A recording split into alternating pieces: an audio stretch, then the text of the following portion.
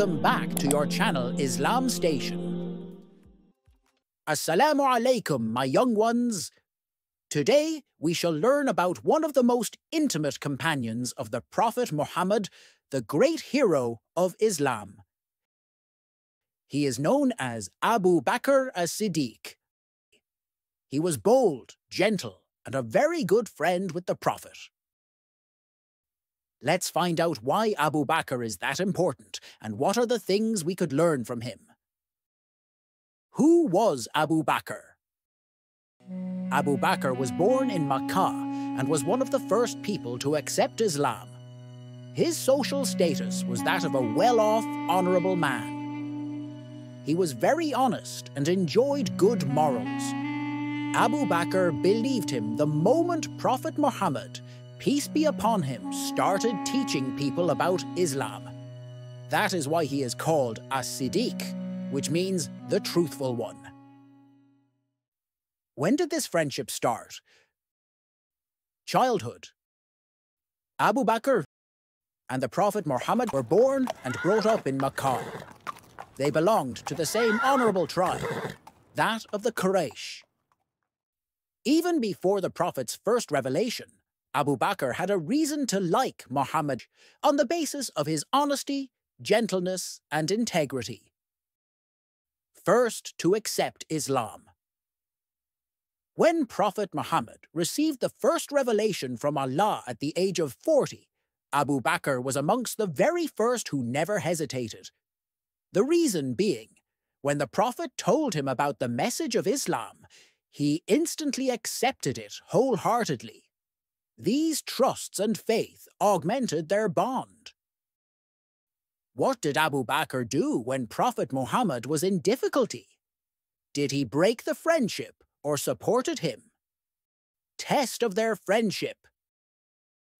At one time, when the people of Makkah denied the message of the Prophet and maltreated the Muslims, Abu Bakr not only stayed loyal, but used his wealth in freeing the slaves from their masters, like Bilal, who were being tortured for their acceptance of Islam. Abu Bakr started standing beside the Prophet supporting him to the fullest since the beginning of embracing Islam. The biggest challenge of their friendship. One of the most profound moments in their friendship was during the migration to Medina. In a time when it became impossible for him to continue safely with his mission in Makkah, and Allah instructed the Prophet to migrate to Medina Abu Bakr was selected to accompany him on this perilous journey. The days spent together, hiding in the cave of Thawr, showed how much Abu Bakr loved the Prophet and proved his loyalty. Abu Bakr was more fearful for the life of the Prophet than his own, and it was Prophet Muhammad who comforted him by saying that Allah was with them. While they were hiding, Abu Bakr felt very anxious. He was not afraid on his account, but he felt frightened that something would happen to his beloved friend the Prophet. Abu Bakr whispered, If they get hold of us, they will harm you, O Messenger of Allah. And then the miracle happens. Miracle of spiderweb. And then miracle occurred. Allah sent a spider to weave its web across the entrance of the cave, and two sparrow hens came and nested in front of it. By the time Quraysh troops reached the cave, they saw in the entrance the web and two tiny pigeons. Anybody inside this cave? It's web, and the pigeons would have been disturbed. Abu Bakr was never separated from the Prophet, guarding him from harm and trusting in Allah with every fibre of his being.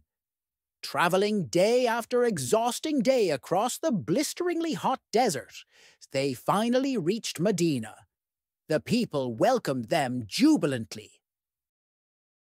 Qualities of Abu Bakr Abu Bakr was a man who possessed the characteristics of honesty, generosity, bravery, and kindness.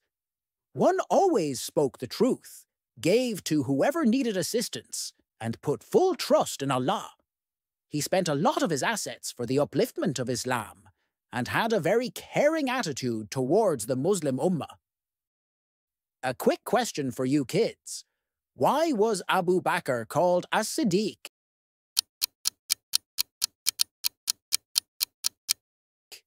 And the answer is because of his truthfulness. Abu Bakr participated in many wars with Prophet Muhammad.